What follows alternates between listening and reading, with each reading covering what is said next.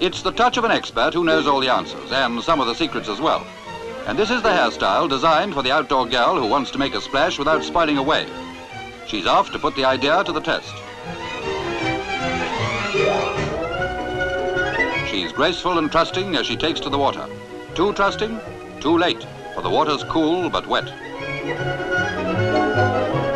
Up for a breather, and our waves still ripple. She's halfway through test one, and she's keeping her misgivings well under. It's a gallant performance, for she knows in her heart that although success may set the seal, failure will seal her set. Now she rises, a mermaid in quest of an answer, and test two opens with some vigorous headwork. Who would be a mermaid fair, singing alone, drying her hair? A final touch, and its success by a hair's breadth. A tight perm followed by a close crop. That's the secret of the outdoor girl's latest, and they call it the mermaid crop.